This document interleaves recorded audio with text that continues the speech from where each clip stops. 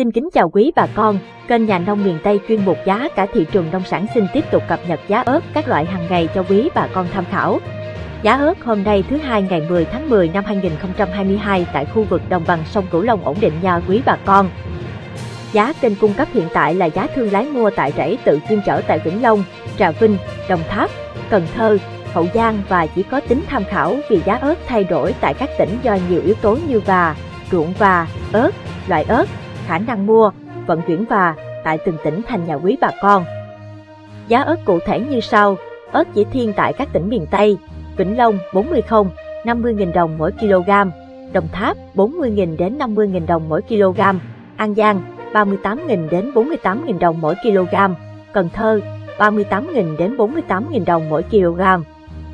Trà Vinh 40.000 đến 50.000 đồng mỗi kg, Sóc Trăng 3804080 đồng kg, giá phà, ớt cổ nhì 43.045 đồng kg phà, giá phà, ớt cổ nhất 38.042 đồng kg phà, giá phà, ớt nát, ớt xuất khẩu 47.000 đến 50.000 đồng mỗi kg, ớt chỉ thiên tại các tỉnh miền Đông, Tây Nguyên, Đá Lắng 37.000 đến 41.000 đồng mỗi kg, Gia Lai 37.000 đến 41.000 đồng mỗi kg.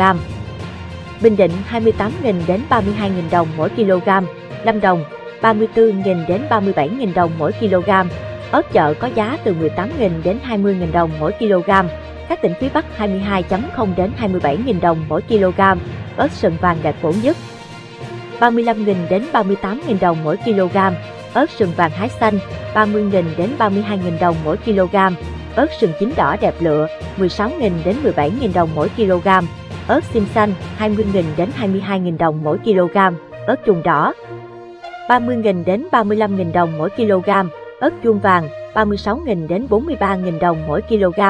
Trên đây là giá thực tế bà con bán tại rẫy hôm nay.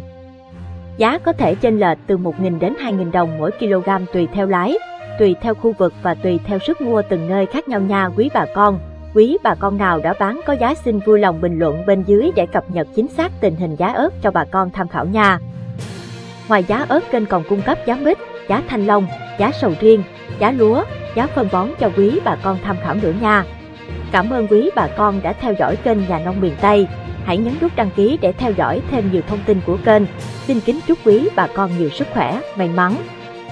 Xin chào và hẹn gặp lại.